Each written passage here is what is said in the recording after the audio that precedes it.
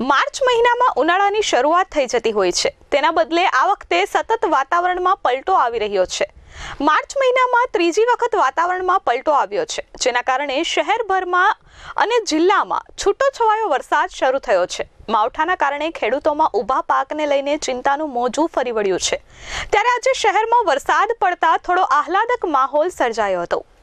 હવામાન વિભાગ દ્વારા કમોસમી વરસાદની આગાહી કરવામાં આવી છે, જેને લઈને સુરત શહેરમાં બીજા દિવસ દરમિયાન વાદળછાયું વાતાવરણ રહ્યું હતું. તો બીજી તરફ મોડી રાત્રે સુરતના ગ્રામ્ય વિસ્તારોમાં વાતાવરણમાં પલટો જોવા મળ્યો હતો.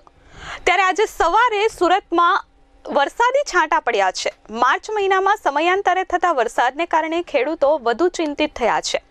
ઉનાળાની શરૂઆત થતાને બદલે ચોમાસા જેવી સ્થિતિ સર્જાઈ ગઈ છે. ખેડૂત સમાજના પ્રમુખે કહ્યું કે સતત કમોસમી વરસાદ પડતા બાગાયતી પાકોને નુકસાન થઈ રહ્યું છે. આજે બપોરે સુરત સિટીના અનેક વિસ્તારોમાં વરસાદી માહોલ જોવા મળ્યો હતો.